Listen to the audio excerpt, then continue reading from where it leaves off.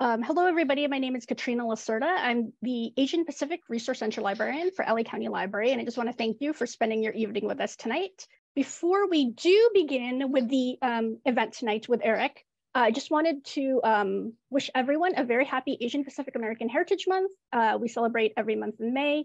And if you're interested in keeping up with all of the celebrations that we still have ongoing for this month, please visit our Heritage Month page um, there's book lists on there, cultural resources, activities, um, all kinds of good stuff. So please go ahead and visit um, that link that Kasha has kindly popped in the chat. And yes, we're gonna have, a, this is one of our great Asian Pacific American Heritage Month events. So again, thank you so much for joining us. And yeah, let's get started. So tonight um, we are going to have an event called In Conversation with Eric Nakamura of Giant Robot. Before we talk to Eric, let's learn a little bit more about him.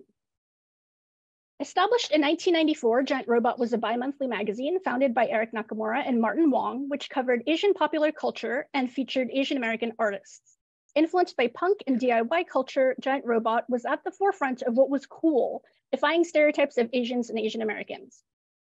Let me, let me show you some of the great covers of the magazine, if you're not familiar. Um, while the magazine published its last issue in 2011, Giant Robot Spirit continues on with the Giant Robot stores and gallery located, located on Sawtelle in West LA. Last year, KCET's Artbound released Giant Robot, Asian Pop Culture and Beyond, a documentary exploring the roots, impact, and legacy of the magazine.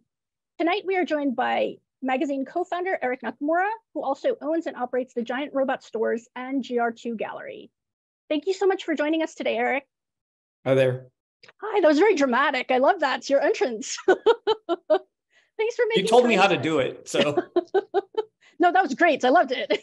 Okay. Literally, you emerged from the shadows. It was very, very uh, cinematic.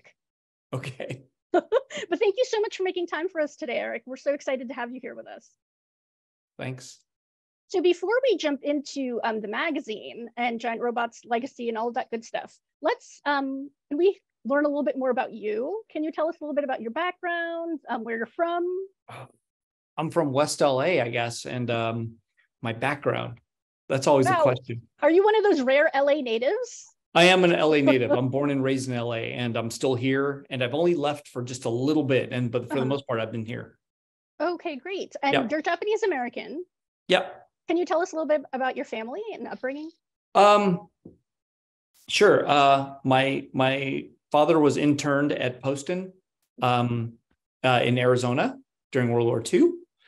Uh, they came, but I guess his father came to America like in 1906 or something like that. Oh, wow. Uh-huh. And then uh, I think my mother uh, came to America in 1950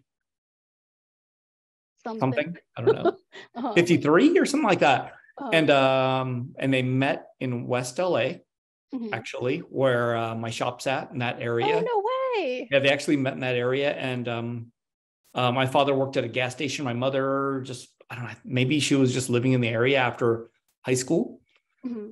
And uh, they met actually in that area somewhere, probably in, I'm going to guess in 1960, around uh-huh. there, maybe uh-huh. thereabouts. I'm guessing something like that. And uh, um, that's exactly the area where my shop and gallery's at.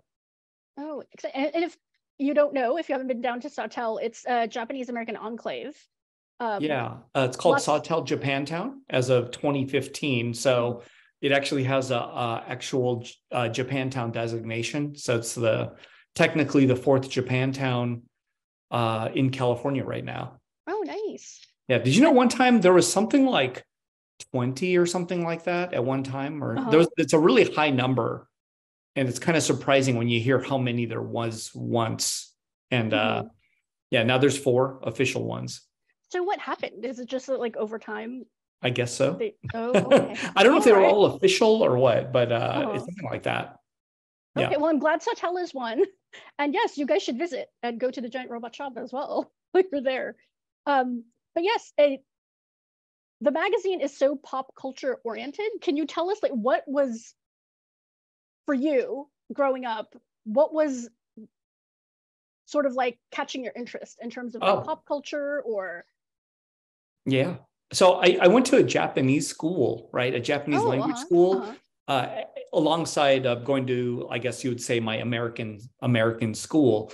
And at that Japanese school, I think that's kind of where maybe you share with other students uh, similarities in what popular culture influences you have from yeah. Japan, let's say, right? Uh-huh. So since um, I guess everybody there's parents were actually Japanese at that time, uh, maybe we'd be comparing like what what we saw or things we liked, and mm-hmm. uh, that was definitely the alternative to uh, whatever was on American television.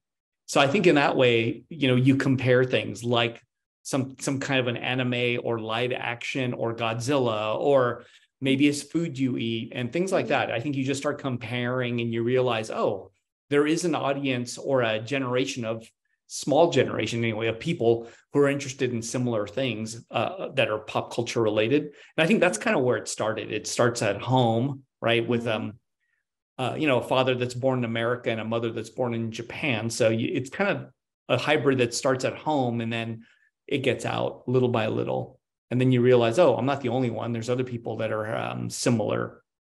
And into the same stuff? Yeah.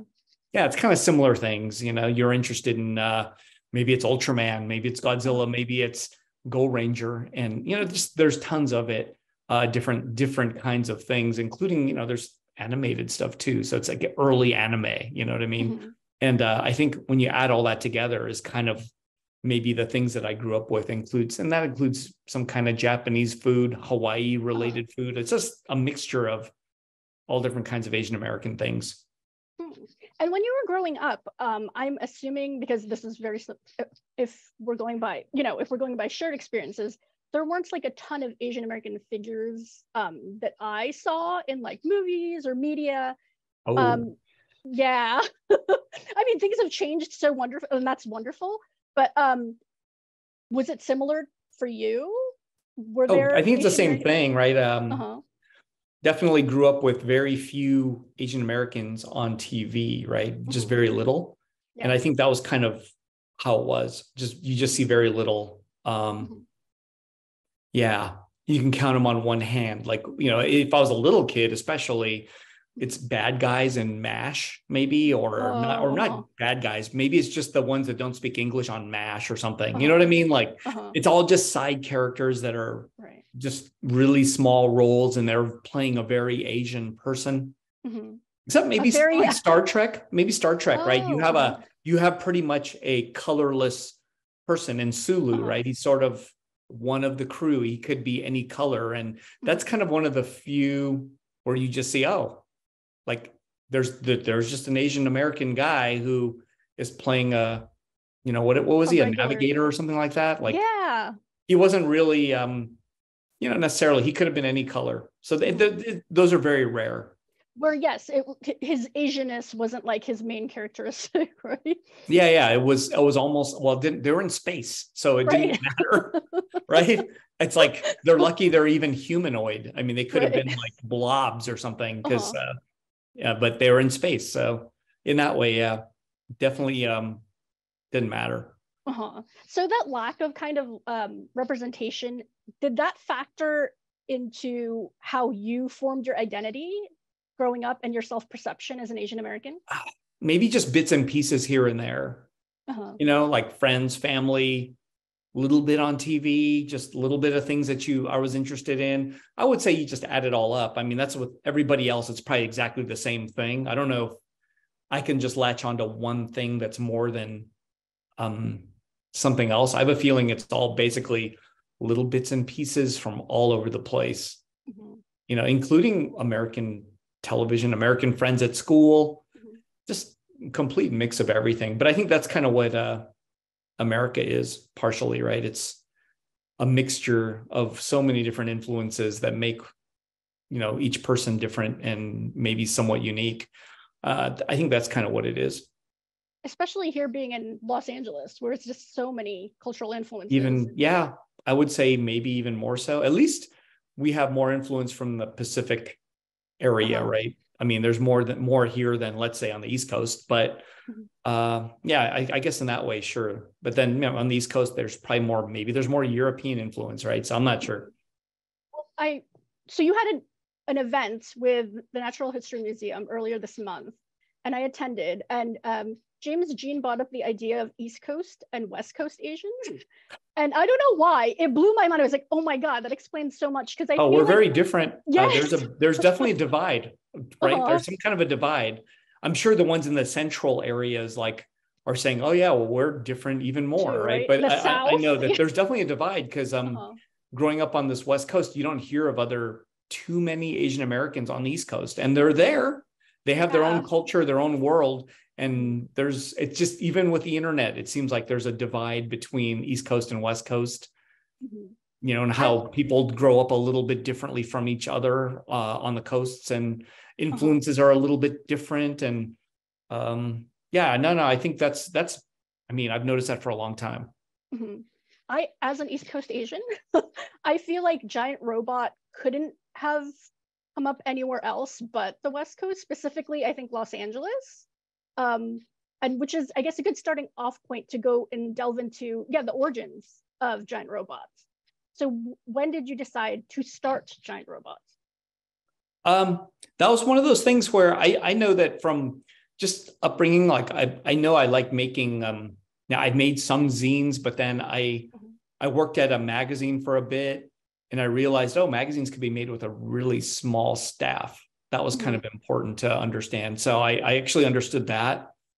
Um, I worked at a newspaper uh, in 90, 91. I actually was a photographer at a newspaper. Again, a very small staffed neighborhood newspaper Mhm. uh, that was um, pre-digital so everything was although typed on a computer it was actually printed on a printing press and there was a kind of a wet a paste up process in between Mhm. you know where actually you're pasting stuff onto a main you know like a main Uh-huh. board i guess you would say and then that gets used as a film negative and then you know what i mean like Mhm. it's this old school way where you're actually using an X-Acto blade and cutting out text and Mhm. putting something else in Uh-huh. and that's how you edit things so uh, i worked at a place like that where i was like right there seeing all of it and um, I, I did that 2091 Mhm. uh, and then you know and i think just being in like la indie rock punk rock world there's people making zines it's exact same thing except uh, lower budget Mhm. so I kind of just, you know, you put all those things together, and then I realized, oh, there's also um, magazines out there that were made kind of with the idea of Asian Americans in mind, right? There were Asian American magazines.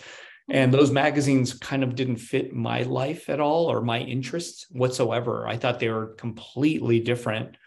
And I thought, oh wow, like there's a magazine out or two couple, couple of magazines. And I was just like thinking, wow, these are very um career centric, success driven, Mhm. pretty people driven publications. And I realized, oh, this is not exactly what I'm trying to do or what my interests are. It's not just, you know, get a job and kill it type of thing. It's um enjoy these other things that I like, popular culture things, popular culture topics and music and movies and more. And I thought that that was really um, missing, and those publications didn't had didn't have anything like that in them. So uh, it was time to start my own. Mhm. You're you're being very diplomatic, Eric, because in the uh, documentary, which I encourage everyone to watch, don't watch it right now. Kasha will put the link in the chat. Watch it afterwards. It's a wonderful documentary that again KCET put out um, on Giant Robot. You um, were really kind of like going in on those other magazines that were out at the time. And I was not familiar with them, but um, we have them in our archives here at the APRC. And I went down and read like Yolk and A. And um, I totally understand what you're saying. It's very slick. Um, but it, the magazines also, I don't think, have a point of view. Uh, you, you know what I mean? Like it's covering Asian American topics, but it didn't have a voice, which I think very much Giant Robot had a voice. I think those voices maybe were. Uh, uh, if I mean, you said there's no voice. It's because probably they're didn't didn't know what they. I mean, they were just making a magazine based on success or making money or looking pretty or it was all based on that and maybe it was celebrating i mean at the time hey that's the best they had was um maybe some of the stars that they were featuring they weren't stars, Stars yet. yet. They were They were- sort of like, okay, you made it into this movie and you're sort of like in the background and but you're you're you're you know, you're the hero, right? And I was kind of like, well, are they the hero or are they just Hmm. in the background of the movie? So I kind of didn't see eye to eye with what they were doing, but mm-hmm. that's all they had, I guess. That's all they saw. And I thought I saw things differently everywhere. you know what I mean? And then also, I like things from Asia, and that was spe- those magazines are specifically Asian American. Mm-hmm. I think I also like things from Asia where things are different. That's mm-hmm. where Asian faces are on the cover of a VHS box or a movie poster, right? Those are it's only going to be Asian faces on them. So I, I just thought, okay, well, I, there's role models out there for sure. Mm-hmm. There's leading men and women or just people in general or monsters for that matter mm-hmm. out there. And um, here there was much less in the 90s, just a little bit. But I also think the origins of the magazine, like really informed how the magazine moving forward like again very much it was diy you started off as a staple zine right um yeah did you do you feel like that spirit did carry on throughout the entirety of giant robots run no so it started off staple and fold right a photocopy right, uh-huh. like uh-huh. the original pages were paste up with glue glue sticks and glue and um, those were like laid out laid down on a photocopier and that's how he made the pages it was like uh-huh. old school style uh-huh. uh, eventually no it, it, succumbs to computers technology uh, mm-hmm. programs right and um, mm-hmm. bigger print shops i guess better ones mm-hmm. uh, some were in canada all you know then there's color pages and um, no, it just it becomes very professional and it grows up and turns into a magazine like the ones in the background yeah. here, I guess you would say. and then those uh they they they go onto newsstands and bookstores and you know it, it gets worldwide distribution actually uh, and then that was all just unintended consequences it was just uh-huh. getting better at what you're doing was sort of the idea right just get, making it better and better each issue it didn't just mm-hmm. become one of these it it becomes better and better over time little by little um, you could just see from the covers like this margaret cho one it's got a really i I did this design and it's not very good. I did this design, it's not very good. But over time, it gets more and more designed and better. All of these other mm-hmm. ones are better. But the early ones, yeah, I did. And they're not very good, you know, until you get a real graphic designer. You just start learning the trade and how to become better at your job, basically. It's just inevitable. I think it's just if you want to keep moving forward, I guess, or or backwards, depending how you look at it. Some people think we went backwards you know, oh, as we got more slick, it, uh-huh. be, it goes backwards. But uh-huh. uh, a lot was a lot, a lot were along for the ride going forward. Mm-hmm. And I think a really wonderful part of documentary is you see that progression, and it kind of like you do touch on the meat and potatoes of how you produced those very early issues to how it progressed to um, it being, you know, in stores like Tower and Borders, uh, which is how I was introduced to Giant Robot in the mid 2000s. Um, yeah, I, I so wish I could come along like, a little later. Yeah, I did. Uh, like, I, I wish I could say like my cool friend or something showed me an issue, but I, I didn't have any friends. oh, I come was, on. I was at like Borders or, or either Borders or Barnes and Noble, and there was a time, people, where there were magazines, and it was a beautiful. Like there was like there were bookstores. Of, yeah, and like you could touch things and read them, and it was tactile. But um, what drew me to Giant Robot was like the design. It looked cool. It looked really fun and just like really artistic. And I was interested. I was intrigued by the covers, and I wanted to read more. What city were you in? I grew up in Orange County, so like oh. it, it's a La Palma. no one's ever heard of that city. Oh, I know where La Palma is. Right by Cerritos. Sure. That's how I go. There's a La Palma exit. Yes, we have that. but yes, with the um with the magazine getting, as you said, like slicker and more like um I, I think it, the layout was amazing. And you mentioned it, the documentary touches, it was your graphic uh, design, Wendy, Wendy Lau, right? Yeah. Amazing. Like I really love the look of the magazine, just to talk about aesthetics. Um, do you think that the aesthetics of the magazine was influential? Because I do, I do think that it was. Like I didn't, really? I didn't yeah, I don't think I was reading anything else that really looked like that or had again had like the feel of it. Awesome. Because um, it was like the whole thing, right? It was the whole package. It was just like how it looked, the visuals, the layout, but also like the voice. I I, I am I hired Wendy. Yes, good decision.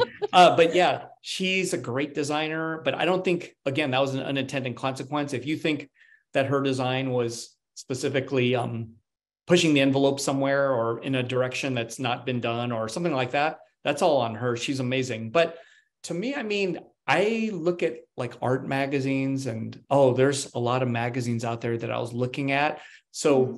basically, when we we're going with design and trying to figure out what we wanted to look like, I had stuff that we looked at and kind of mm-hmm. compared to. And I was like, look at this, look at that. And I think that's kind of where it, you know, the look and feel probably comes from is just looking at other stuff that we liked and combining it again, just a hybrid, just coming, making it all come together and uh, becoming your own kind of a thing. I mean, I guess layout on a page, it's really hard to innovate that in a way because there's only, you know, it's English words and pictures, right? There's there's a finite oh. amount of tools and papers.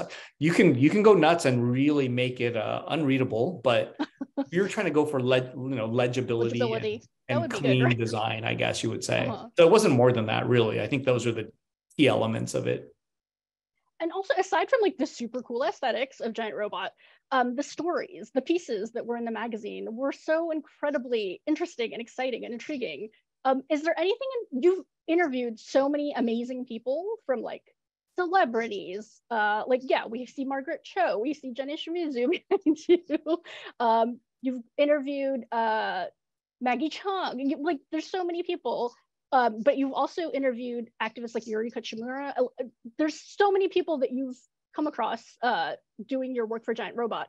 Is there a particular interview that is your favorite? Or... Oh, you said Yuri Kochiyama.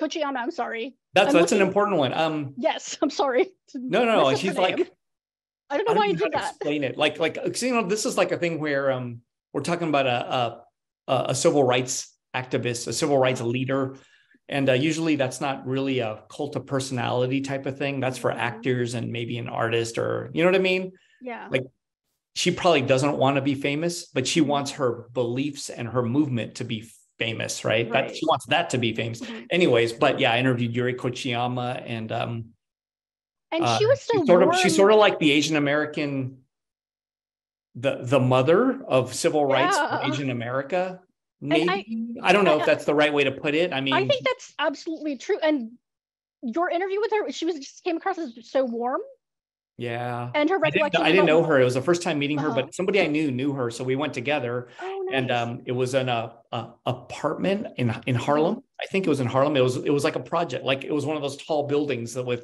mm-hmm. many apartments many tall buildings and um, we go up there and her apartment's just one of the hundreds of apartments in this building.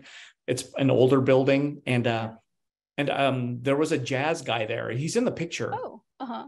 What was his name? Was it? Uh, I, I'm always worried I'm going to get his name wrong. Charles Charles Charlie Bird. I think that's that oh, was. That sounds familiar uh, as a jazz guy. Yeah. I have I have his albums, but oh, nice. He was hanging out, and then when I showed up, she was like telling him, "You got to leave, like you got to go." And he was just like, "I was like, no, you should stay because you know I'm a fan. I have his records. I actually have this dude's records." And uh, he was like, "No, no," he goes, "I'm nobody." And then he took off. But I took a picture oh, of them wow. together, and that's the uh-huh. one we ran. The photo we the ran story, was her yeah, and uh-huh. him together because I was kind of like, "Wow, he's a legend, and he's part of like." jazz in the 60s 70s and you know 70s more so but 60s 70s and you know what i mean yeah, on their yeah. own kind of an activist uh-huh. but just one of those random things where I was like, holy smokes, like, what am I doing here? I'm a kid. Like, I don't, you know, I'm way, I'm way overmatched here. So, uh, but it was just fun to do an interview with uh, her. And uh, mm-hmm.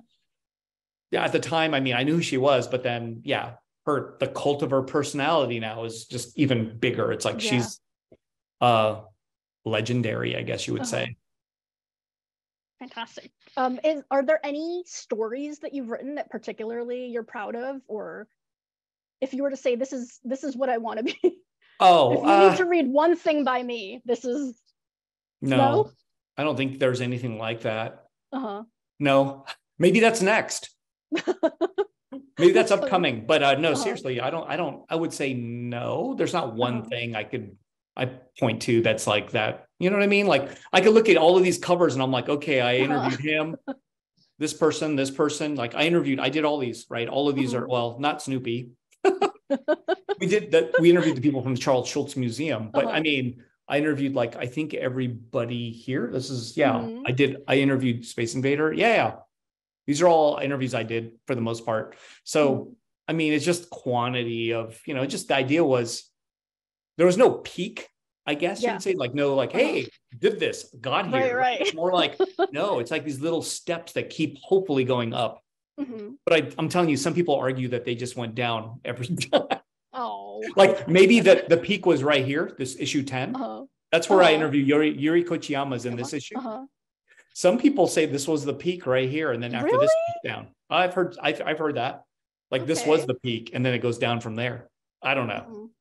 Opinions, okay. and that's issue 10, and we go to 68. Yeah, 68.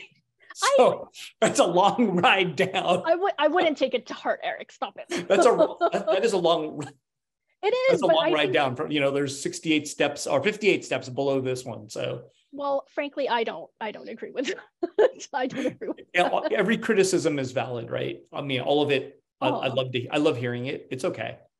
Okay. That's very healthy of you. oh, I mean, there's a point to it. And uh-huh. does that make me want to work harder and make it better because I'm mm-hmm. hearing that? Yes. Mm-hmm. Again, right? that's very so in that way, no, it's great to hear that. I'm I'm uh-huh. down. Let's go. so giant robot like of all of the people that you broke a lot you broke like so many artists and um writers like there were so many people of all walks of life that like they first were known through giant robot there's been so many of those figures like uh i first first heard about uh nara through like so many artists and murakami there's so many people that Giant Robot was the first to cover them in American press. Yeah, that famous famous cover. I guess um, th- this background was a good idea. I mean... yeah, it's perfect. Is there a person that you wanted to get and you you didn't?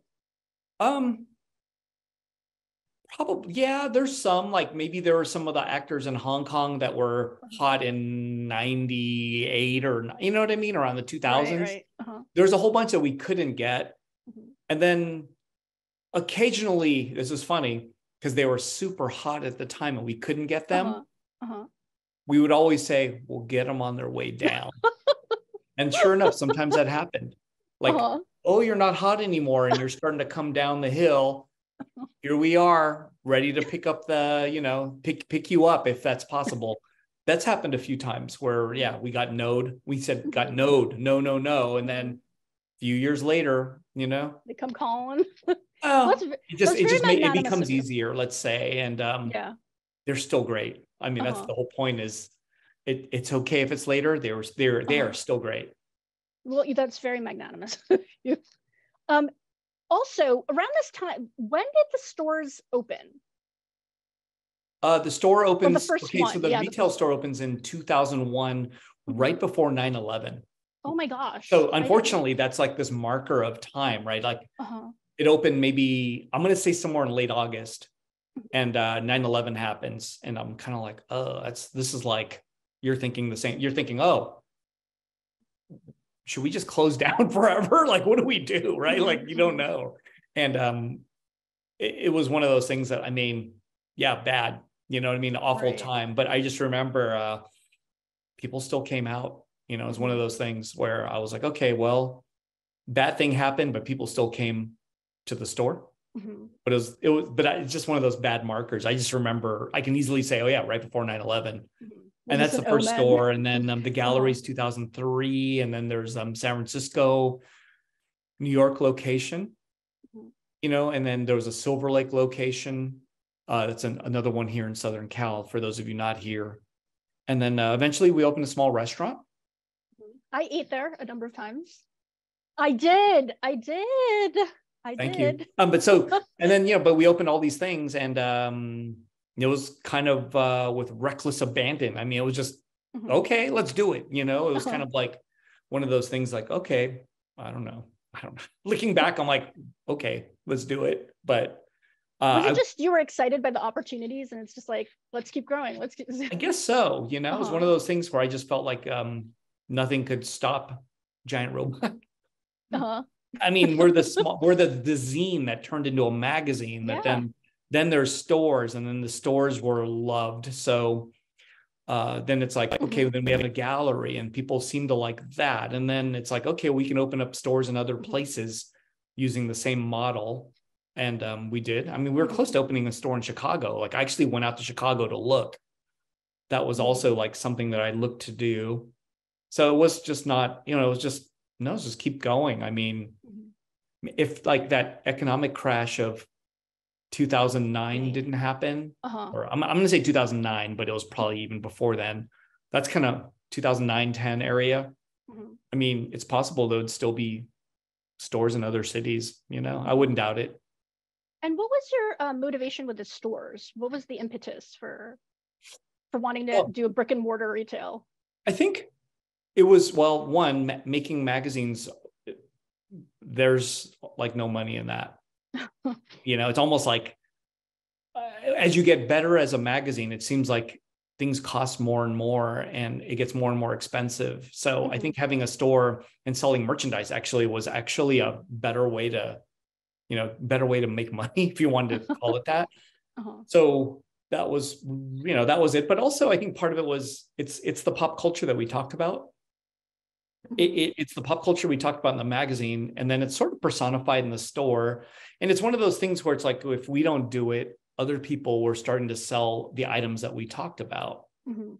and i was like well if anyone's going to do that it should be us i mean it should be me right it should be Yeah. giant robot it's got to be Uh-huh. us so rather than having other stores do that it was okay we should just do it Mhm. and you know create our own um, path forward that way.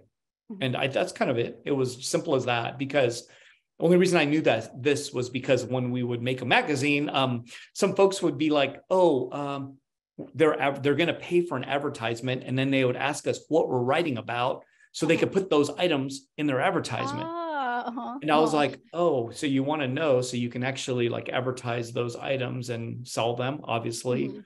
And uh, I was just like, well, we could do that too. So basically, it started happening, and it was like mail order before Mhm. internet kind of a thing, and then it was you know Uh-huh. internet orders, and uh, I think we just it just got overwhelmed with product that it Mm. was time to open a store or do something next level, whatever it was.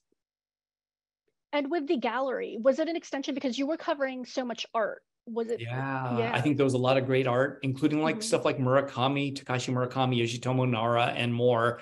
But then there were local artists who I thought were brilliant, Mhm. and they didn't have an outlet, and their art was maybe a cross between illustration, design, and fine art. Right? It was a, this mix, and then that mix was sort of not really cared about, I guess, in general art world. It was sort of like, oh, that's this cartoon stuff happening Mhm. over there and i think that's kind of what the that kind of opened the door i was kind of like oh that cartoon stuff is what i grew up with it's sort of like manga art or anime art and it's like that and i think there's there was no outlet for that if you did that you were a hobbyist so i think having a gallery that kind of featured that and it's uh, pretty much it's whatever it's it's ancestors or no i'm not ancestors the other thing it's offspring it's it's whatever going forward from that are things that I was interested in. And sure enough, I guess got lucky because then that Mhm. kind of, you know, the taking that serious uh, was a good thing because then illustration art kind of becomes fine art over Uh-huh. time, sort of kind of.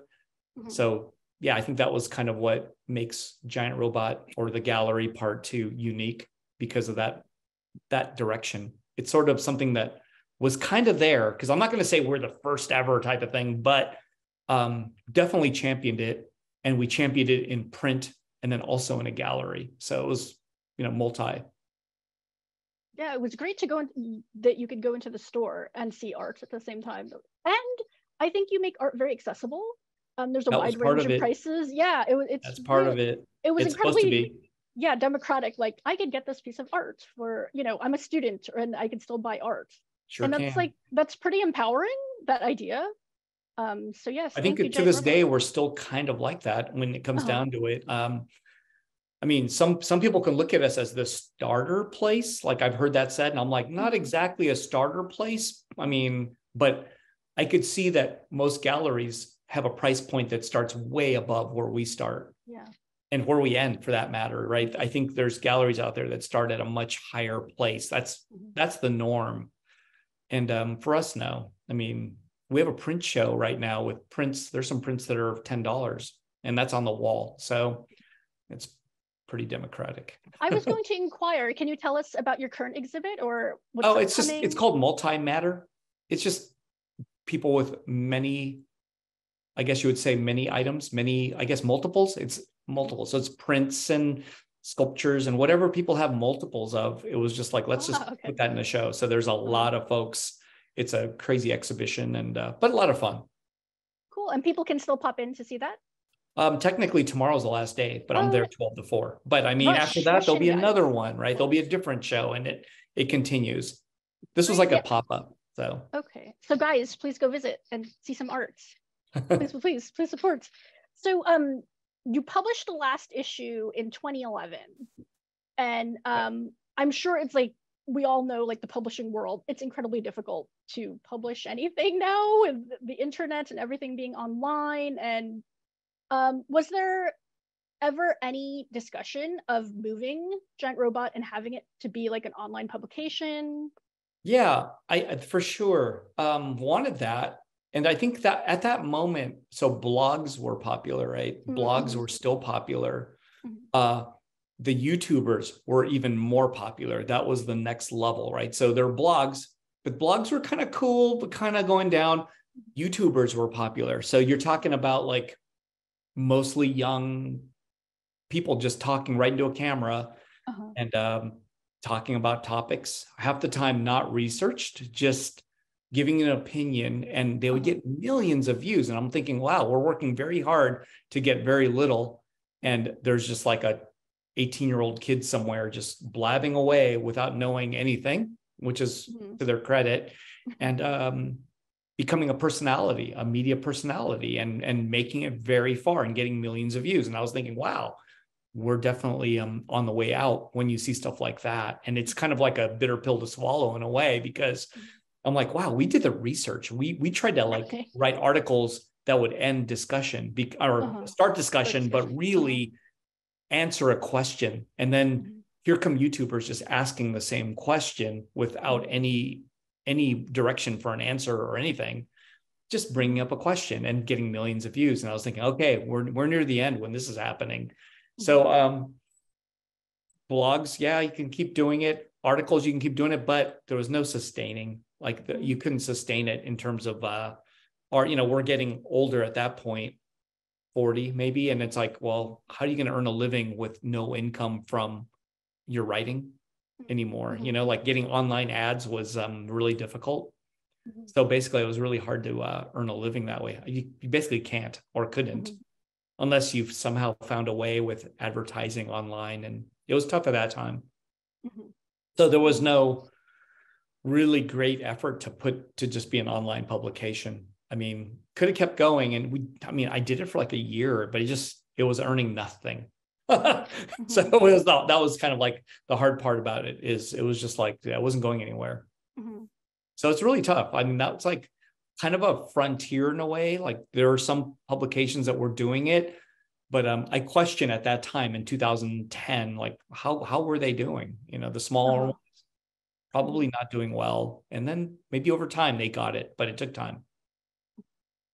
So with all of the wonderful things that Giant Robot has brought us. So, you know, the representation, the exposure to um, artists and musicians and actors and films and music that we didn't we might not have heard of before. There's also just like at the base level, Giant Robot was cool.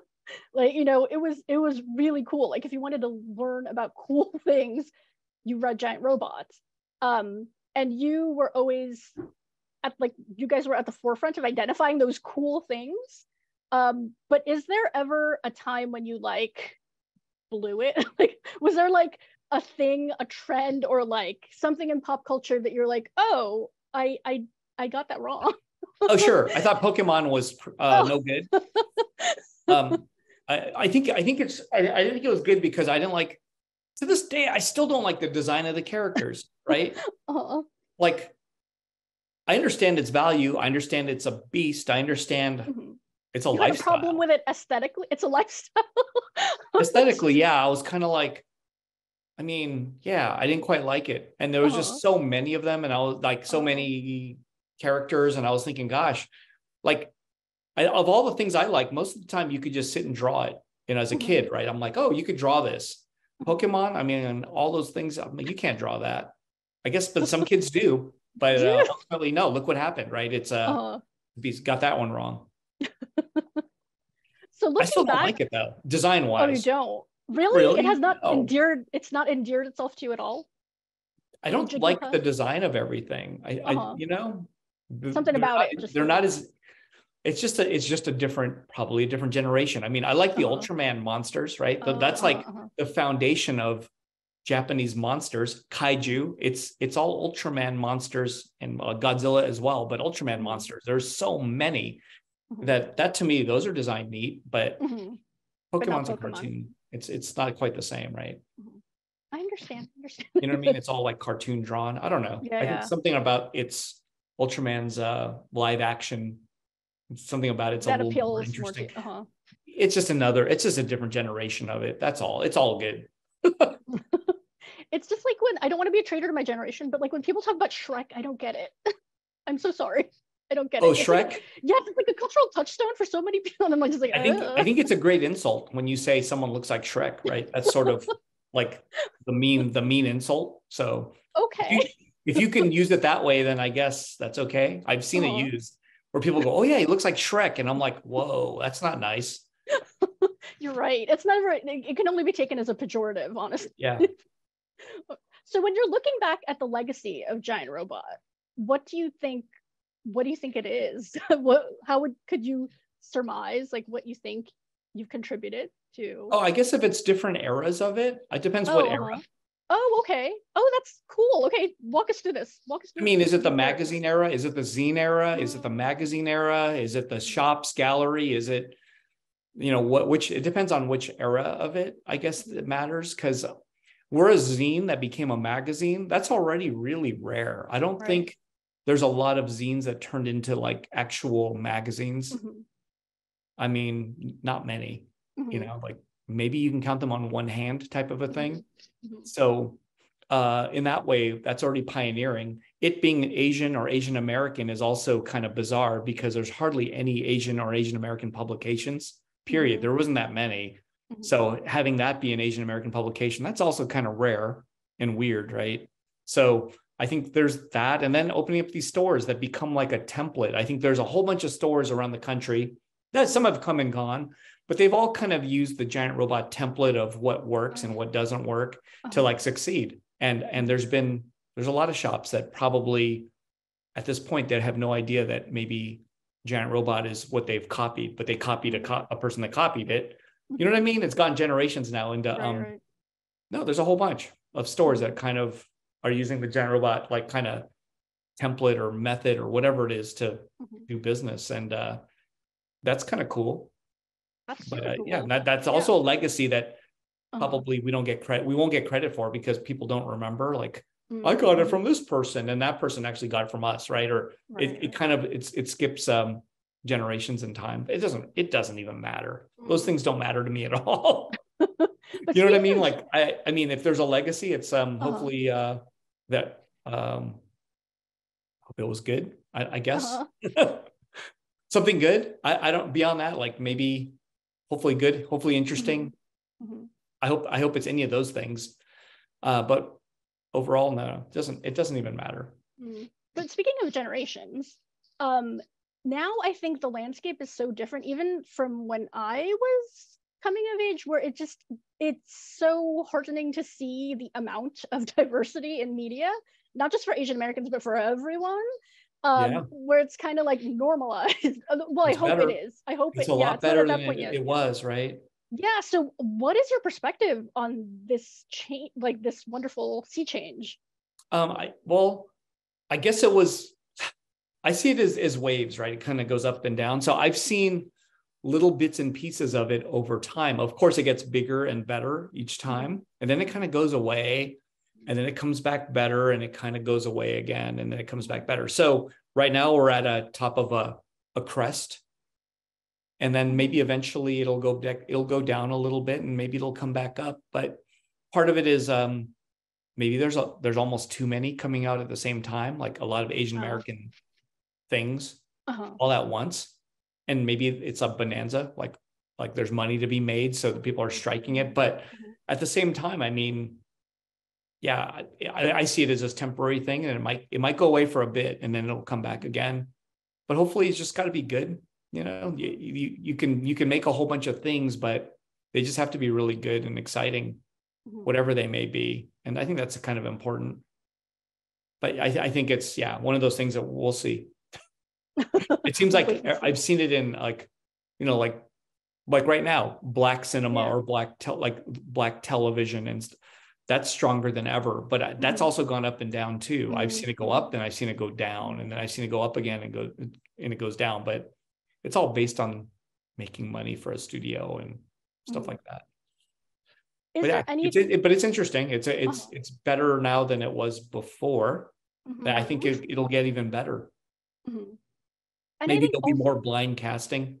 Maybe. Yeah, that'd be great. But then even then, like it can't just be blind casting all the time. What if mm-hmm. you're blind casting for uh, a future Mission Impossible movie or something like that, like similar? Mm-hmm. Accidentally becomes all Asian American. If that's impossible, right? Then it's Asian American film. It, it, just can't be uh-huh. blind casting. You you can mm-hmm. cast one or two, but you can't just cast everybody. It's just blind. It just happened to be everybody's Asian American. That's not going to happen. But can you imagine? right? Like uh, imagine it's like some, you know, uh, what is it called? Uh, I forgot what it's called. Like like, what's it called? Sisterhood of the Traveling Pants or whatever. And everyone just happens to be Asian. I don't. It's just not going to happen. It's just a quinky dink. Who knew? You know, it's like oh, they go to Europe. They're into uh-huh. Greece now, and it's like they're all Asian American. You have a grandparent that's in Greece? No, you know, it's like no. It, will it, it'll that's still it works. I'm saying is, you know, but that, that's kind of what one of the hopes is, is that there's more uh-huh. blind uh-huh. casting, that an Asian American uh-huh. play any role. Yeah, yeah. Just like a, a black person can play any mm-hmm. role. It doesn't matter. Just like um like watching uh what was that? What did I watch? Uh um was it the the the, the follow-up to Game of Thrones? Oh yes. Uh uh Dragons, House of the Dragons. There's people who are black in there. Yeah. It's just like I was kind of like, oh, that's kind of blind casting, right? Uh-huh. Sort of right? I mean it was like oh that kind of became like in a way it's like they could have been white. It wouldn't have mattered. Or it could have been asian. It wouldn't have mattered. It just didn't matter. But it was just kind of interesting to see that you know maybe it's kind of taking a, a dip into that more and more. It's kind of cool. Yeah i think so too. Yeah. Okay. So um in i want to make sure that we respect your time. Oh um, i'm good. I, am oh that, as long as i have coffee i'm good. We'll be here all night. so I wanted to, since it is Asian Pacific American Heritage Month, I just wanted to lob some um, AAPI uh, uh, questions at you just to get your, your, your take on some things happening in Asian American culture currently. Um, so Asian Pacific American Heritage Month had an official name change to Asian American, Native Hawaiian, and Pacific Islander Heritage Month. Uh, the acronym is AANHPI to be more inclusive. And this was uh, put through by Joe Biden this year. What are your thoughts? I didn't on... even know. What? Wow, I didn't, I didn't know. Yeah, we we we didn't uh, change our name this year. So we're for LA County Library, it's Asian Pacific American Heritage Month, but we're probably going to change next year to Asian wow. American, Native Hawaiian, and Pacific Islander Heritage Month. It is very inclusive. It's still probably excluding other people. This is true. Right. But also, what? How do you feel about that? I because I have thoughts about. I think the Asian American banner is so huge, anyway, and just like unwieldy. Um, and then we we kind of shoehorn Pacific Islander folks in there too, and it's just like it's such a huge group of people that don't have a common like language, religion, history, or culture, and it's just like I, I don't know if it's like the the most um, elegant uh, term to put it lightly. So I, I don't know. What do you so think? Do you hope that there's one month for each group or each little segment? Eric, group? one could dream. Let's do it. if those observances were that important, yeah. Well, like like January is Korean American Heritage Month, and there is a Korean Her- American Heritage Month. And oh, there is. Okay. Um. Yeah. so like February could be like Chamorro peoples of the world month. And then Oh, let's go. Let's do it. There's 12 though. We have to divide it into 12. oh. Only 12. I know, but Well, we have to like then we start grouping them. Anyway, no, We'll I think that's uh through. that's interesting. I, I mean, it, acronyms will just keep growing, I guess. Uh, and, Yeah, I don't know if I have a good opinion on that, but I'm I mean Mhm. I'm glad to include more people or uh-huh, let their actually will at least acknowledge more people. right. So, but do you think that that there is there a point? is there like this pan Asian American identity? Is that helpful or is it? No, I don't think there is. Is there? Maybe there's there, there is maybe up to a minimum level, right? uh-huh. Like, does the Pan Asian ethnic identity, the Pan Asian, does that include rice? Mostly rice or noodles? Rice and noodles. we your got you covered, right? Yeah, pick your carb. Rice and Rest of it. noodles. Rice and noodles. I think we Which got camp it. do you fall So- in? I mean, but you know what I'm saying? It's like the what, what Yeah, are the similarities between Uh-huh. all of them? Maybe Mhm. it's rice and noodles. That's about it. Like seriously, I don't even know what else it could be because there's no Uh-huh. common, like you said, no common language, and that's a pan Asian American thing. I mean, all I Mhm. can think of is rice and noodles. I can see the benefit would be like, you know, solidarity in numbers, but it's just like Yeah. there's so many No, everyone's needs is so different. I think, but isn't that it's like that probably all over everywhere else too, right? Yeah. Where there's is there's just so many groups of people, even within one region. There's probably Yeah. there's probably Then like more you know what i mean we, like when we sort of like in in la for example we know what thai food is i think Uh-huh. but then you Uh-huh. find out no thailand has so many different regions and Mhm. there's so many different styles of food in one from one place that's not even that big to begin with so Mhm.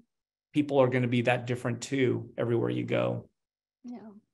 All right. So let's let's see more Asian sorry i don't know if that was interesting or No, not that was that was very interesting. I mean, it's Uh, like that is- here in the California. We're like so Uh-huh. different from each other, just between here and San Diego. Mhm. People are pretty different, right? So Yeah. Okay. What is an Asian American historical historical fact or historical figure that you wish more people knew about? an Asian American one. Yes, a historical fact or a, a historical figure. We were the first. We were the first people in the world. I'm just kidding. I don't know if that's even true. I mean, that that's arguable. I, I don't know if that's true. debate. Prove it. Uh, just because I'm I'm laughing because that was one of those things that I think we were uh, we would joke about in the magazine long time Uh-huh. ago because long ago they would say this thing called Peking man was the first human being Uh-huh, right that was uh-huh, like what was said a long time ago uh-huh. I think that's been like dispelled over and over and over debunked. Yeah. yeah yeah it's been like gone th- that, I'm just joking um I, No, this is gonna So I- I don't know, but- yeah I don't know oh Eric maybe, Nakamura maybe says Asians were the first people in the world. oh maybe the first people in California that's possible no that's not Oh, even true either so. Yeah, first think so. visitors Okay, first we'll go with that. We'll go with that. the Ch- Chumash Indian, they were here first. The first people were here first, but the first visitors might have been from China, maybe Mm, rowboats. I don't know. Sure, we'll, we'll, we'll go with that. Sorry, I don't have a good one for you. I don't either. I wish I knew. I'm now going That's with fine, like. I'm going with like conspiracy theories at best, and they're they're really poor. That's all right. We'll, we'll, we'll, chalk that. Yeah. Um, and I would be remiss running out of time, but um, to ask about libraries, since we are uh, a, a public library, just wanted to inquire, how have libraries impacted your life? Oh, uh, I think for the fact of Giant Robot, I used um, library research back in the day before Mhm. internet was widely available. I would do research in libraries, including uh, let's see, the UCLA library. I use that. Mhm. uh, Santa Monica City, Santa Monica City Library. I use that one. Uh-huh, uh-huh. Um, no, I, I use libraries still. And to this day, I still use libraries. I And we actually have an online account.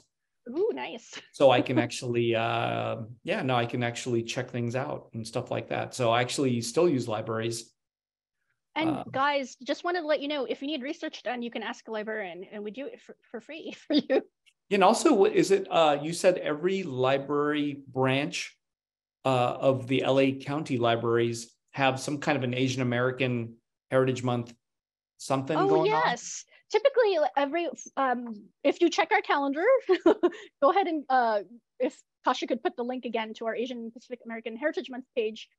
Pretty much every every library observes uh, every Heritage Month, not just Asian Pacific American Heritage Month. Yeah. But yes, there should be a program. Um, either it happened earlier this month, or it's still gonna. It'll be forthcoming in next in the week next week or so. But yes, including uh, that Lancaster celebrate. branch, that we all celebrate. that Lancaster branch too, way out there. We all love Heritage Months. We love to celebrate It's different cultures. Yeah, no, it's awesome. And um, I don't know if that helped at all. Li- No, that I mean, helps. it's That libraries are, you know, it's uh, I don't like. It's funny how like, I think as a little kid, we all went to libraries all the Mhm. time. It was like a thing to do was go to the library, and uh, I don't know. Do they still? Is there still tons of kids coming to the library? Because Yeah, I, I felt like that was an after school thing that you'd go to the library. It was like, Well, yeah, we have story times, and we've really become more like a community center where we have lots of programming and um, multiple resources for people, uh, health fairs, tax Yeah. ass- assistance, stuff like that. Plus fun events like this, like we're having now. We're having it online. Yeah, so come visit your local library if you haven't. And so, Eric, when you go to a library, which section do you make a beeline for? Like fiction. Oh, interesting. Uh, so the West LA Library, which is not a county library, shame on them. No, I'm kidding. Uh, they they had a zine section. I would actually look at that. That's not something I'm trying to check out. Like like I'm gonna borrow something or try to borrow, it. but just the fact that it existed, I thought that was interesting. Mhm. But uh, ultimately, no, I, I probably wouldn't go to that section regularly. I think for me, what would I be doing at library? I think I would look at. I would. I hate to say it. I'd be looking at periodicals. hey, no, that's the, what, what's wrong with that? Do they still? Are there still We periodical do. We sections in every library? I thought maybe they'd be gone by now. Oh no, we have them. Periodicals. That's my. Uh-huh. That's my. That's my jam. So I'd be looking at that. Excellent, excellent. So now we're gonna round off our uh our little uh talk with Eric with our lightning round. Pachoo, pachoo, shoo. That's Oh, this the, was. like, oh, I thought this was the lightning round. oh no, this will be the lightning round. Uh, if there were like uh confetti guns, they'd be going off right now. Air horns. Boo, boo, boo, boo. Wow. So I'm just going to quickly. I'm going to ask you a series of questions, and you just answer it quick, right off the top of your head. Don't even think about Okay. it. Okay, lightning round, begin. What's the last book you read? Stay True by Hua Hsu. Oh, cool. I love that book. That's a really great book. Guys, You want should a Pulitzer. Prize? Yes, it's Is amazing. it for that book though, or is it for something else?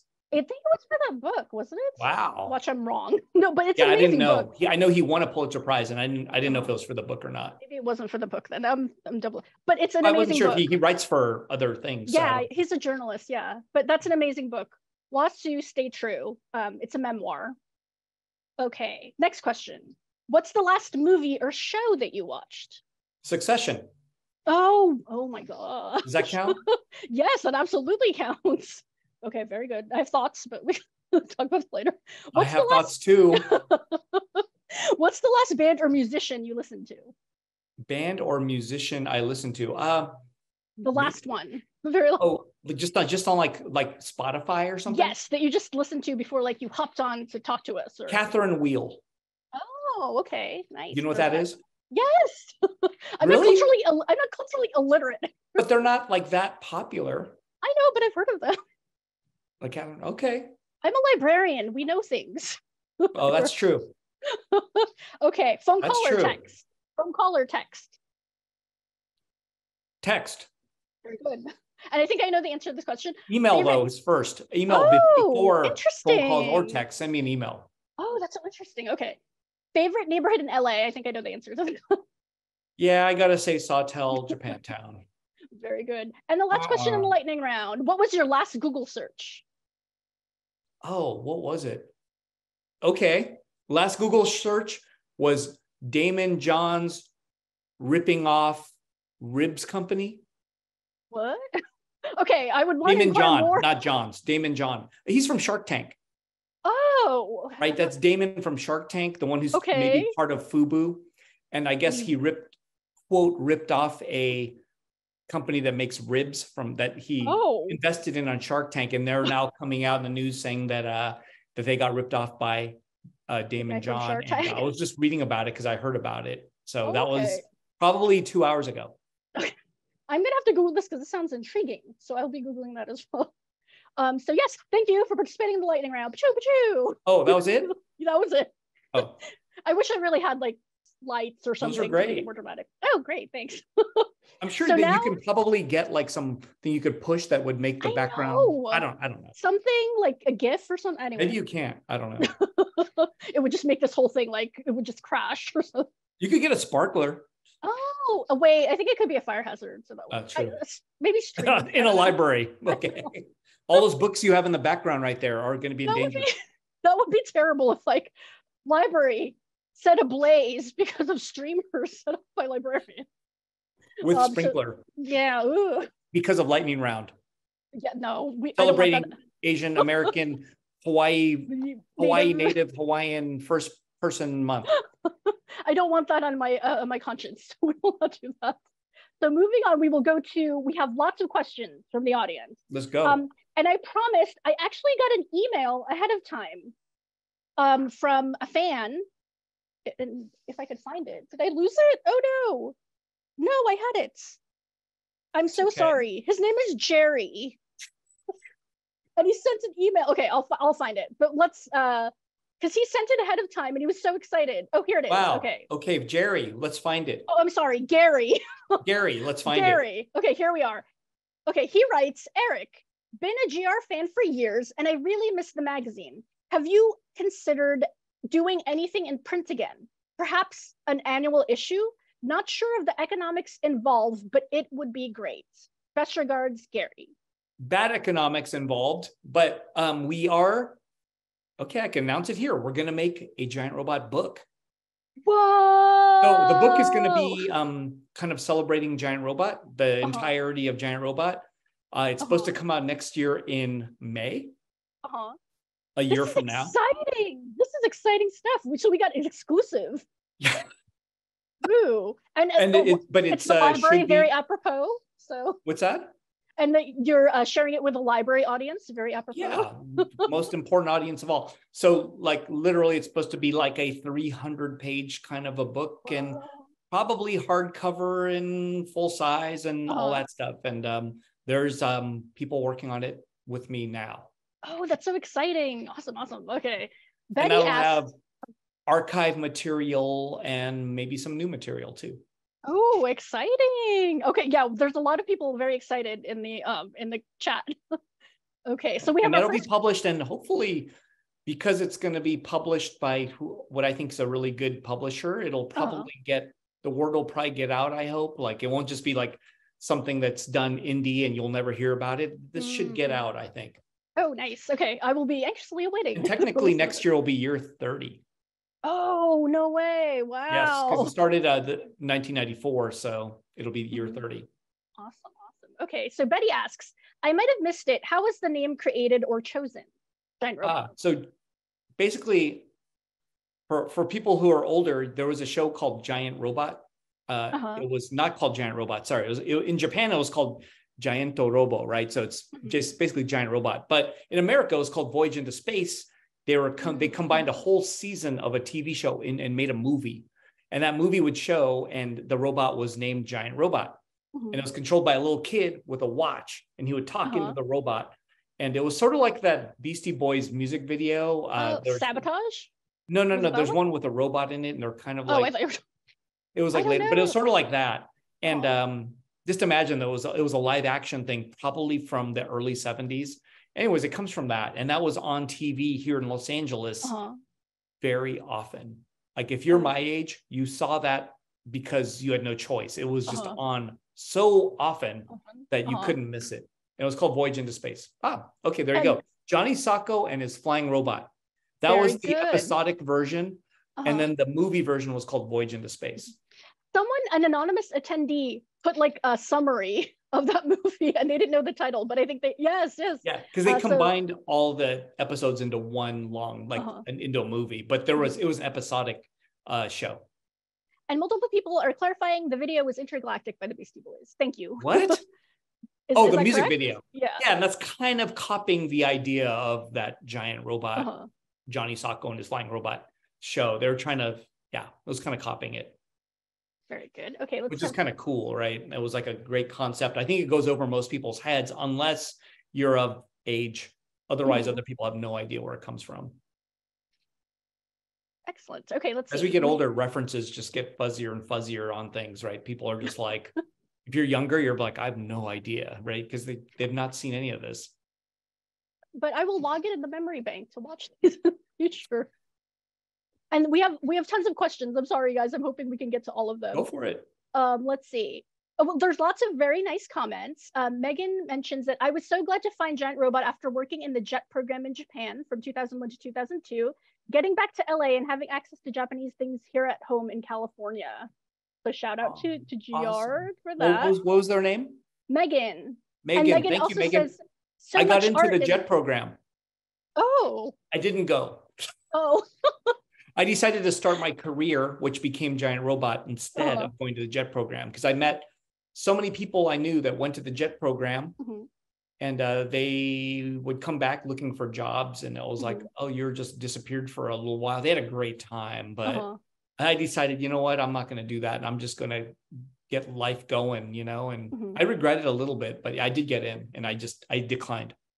And can you tell the audience if they're not familiar what the JET program is? Oh, I don't know what it stands for, but basically if you're teaching English in Japan. Uh-huh. Most of the time you don't get to pick where you are at. So you may get put into a remote location in Japan. Like you might end up on an island with like 10 kids or something, literally. Oh, wow. Like I know people that did that and uh-huh. you teach you teach English there.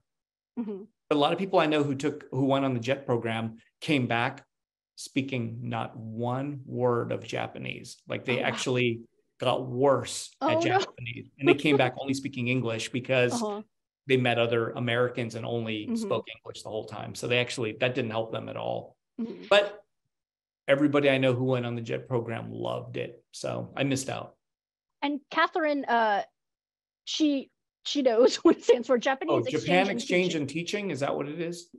Thank you, Catherine. It's a okay, program, Megan, and Megan also wanted to share the same Megan um, from the Jet program. She so much of her art in her house is from uh, Giant Robot. Thank yeah. you. Megan. Megan Megan's a, a, a supporter. Okay. Betty asks, do you have a favorite publishing year or one that is more memorable than others? Publishing year. So there's 16 years of publishing Giant Robot. Mm-hmm. I think when it comes down to it, it's always those first early ones that you remember the most because they were so odd mm-hmm. right? Because there was no rhyme or reason, there was no groove. It was completely, uh, you know, just just doing what we do and figuring it out as you go along. But once we get to the point where we kind of knew knew what we were doing, it mm-hmm. gets a little more blurry because I'm kind of like, okay, the year 13 and 14 are almost like they all blur into one.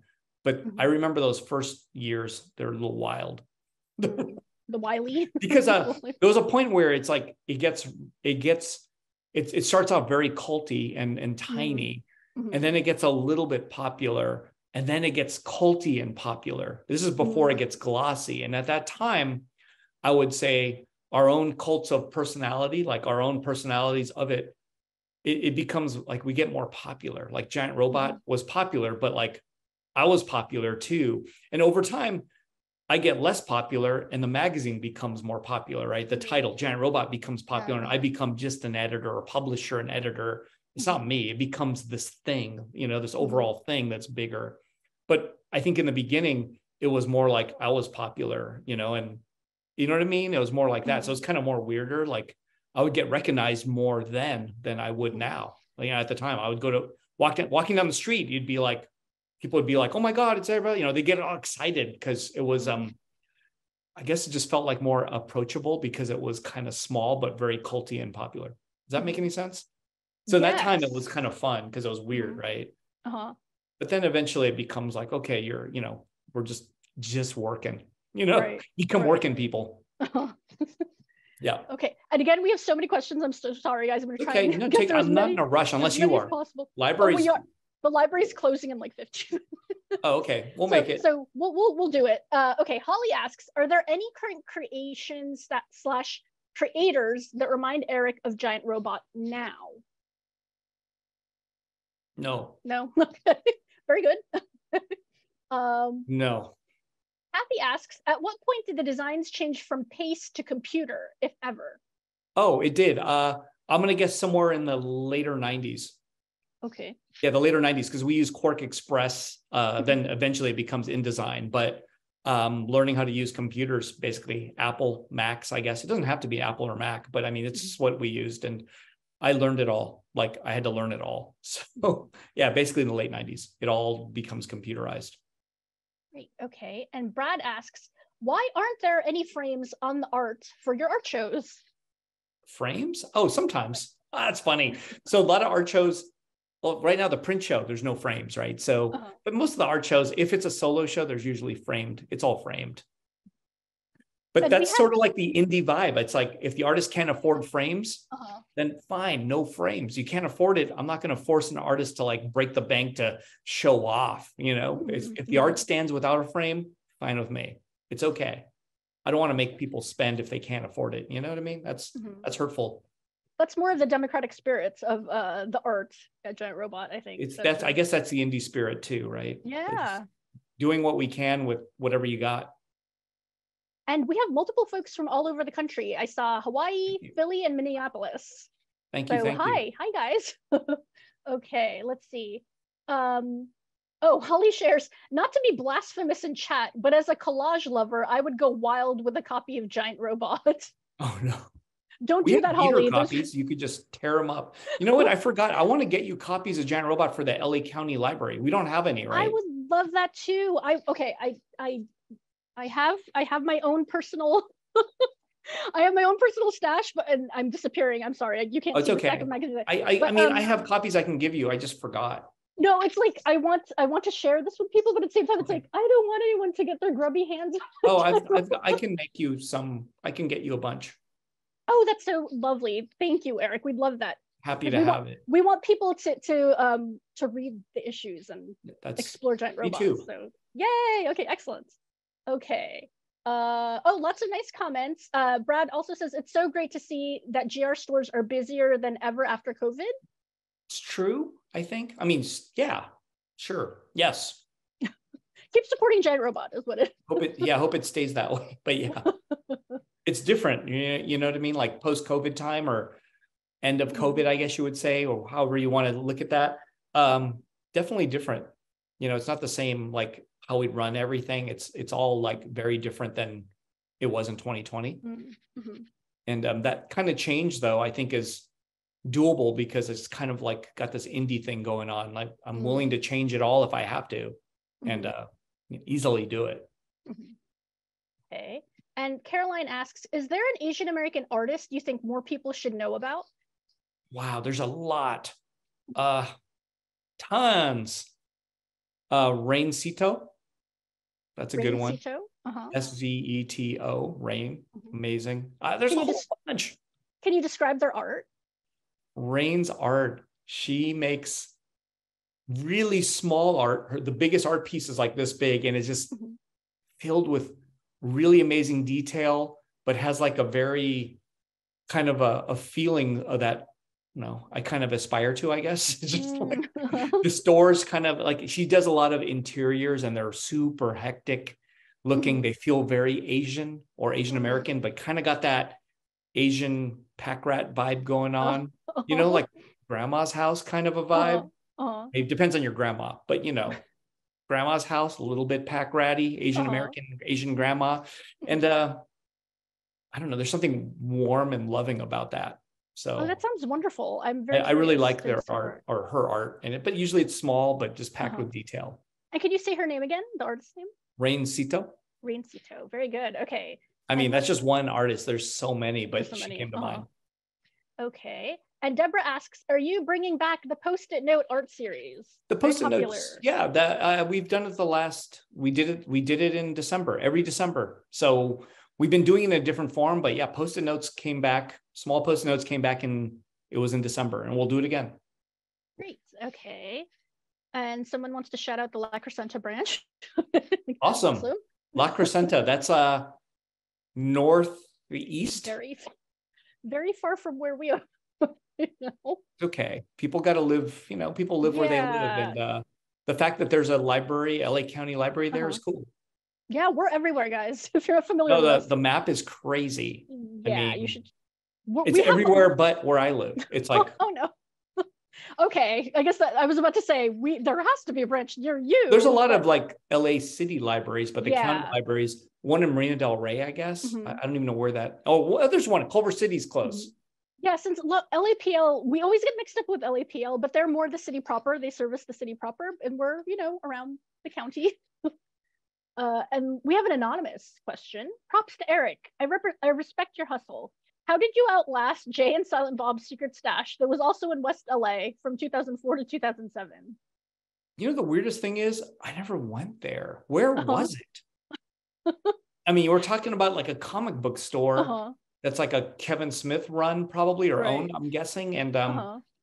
I never, I don't even know where that was. I thought it was in Hollywood, but I can't the person said Westwood, and I always heard about it, but I never went. I never went either. Where in Westwood was it? I probably would love it today. You know what? I think what happened was too, was that, I mean, in 2004 to 2007, how were comics doing? Like, how were they doing? Were they doing well? Or was that like a low period pre movies that kind of escalated all those comics that, you know, just brought it straight back up? I don't know. I have a feeling was that a lull, like a bad time to do it? Uh-huh. Like if you did it today, it'd probably rock. It'd be like uh-huh. amazing, right? Uh-huh. Comic books are awesome. And Brad uh, asks, how are the Linda Lindas connected with Giant Robot? Oh, very... people walk in thinking that they're my kids, but they're not.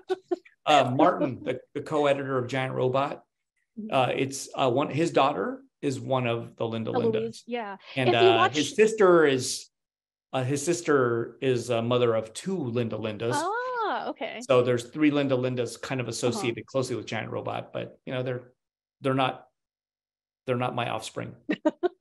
oh, but, watch... but but Wendy is the mother, right? Wendy and yes. Martin got married, uh-huh. so the designers uh-huh. um, they're the parents of of, of, one, of one Linda. One, Linda. one Linda. Yes, if you watch the documentary, uh, uh, their daughter makes a uh, cameo. yeah. So please watch the documentary. It's yeah. amazing and you learn so much about Giant Robot. Um, but yes, I want to thank you so much for your time, Eric. It's it's you stayed uh, so long. thank you for. Well, wait a second here. Your library is you've got. Aren't you open ten more minutes? Yes, but we have to do our closing procedures. What's that? Just lock the door. No, and have like a what is it, night of the museum situation? Do you, you have to kick people out? Are there people in there now? Like, do you have to kick out? yeah people love the library some stay until literally like the last wow. minute yeah and gotcha. we, we, love it utilize the resources gotcha gotcha i use it you know what actually i do audio i use audiobooks sometimes from the oh, library oh, nice. uh-huh. which is really and, nice because so many books the audio component is actually mm-hmm. really not so good uh-huh yeah so i get to I know which ones are good because if uh-huh. the author's reading it usually it's mm-hmm. good mm-hmm but then if it's sometimes they get like a, a stranger reading it and it makes yeah. no sense like the uh-huh. voice uh-huh. doesn't fit the right. tone of the book yeah and i always for the longest time i was like why can't i get into audiobooks and it's like i listen to podcasts you know what is this is the same thing and it really depends so much on the reader like honestly that's why like yeah. stay true with Hua Hsu he reads it so uh-huh. you kind of get an understanding of his passion that's in the story right and maybe something like if you're reading um what was her name? Michelle Zauner, is that right? Oh uh, yeah, yeah. Uh, Crying in H Mart. She's reading yeah. that, so you could hear her. You, right. you really get it. You feel like you're in there. So in that yeah. way, those make sense. But then there's some other ones where I'm like, this voice is not appropriate. it's not the right voice. Yeah. Yeah. Yeah. Well, thank you so much, Eric. Uh, again, this was wonderful.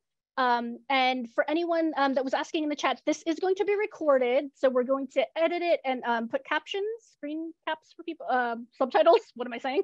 And it should post to the um, LA County YouTube page. But if you registered, I will also send you the link via email as soon as that goes up.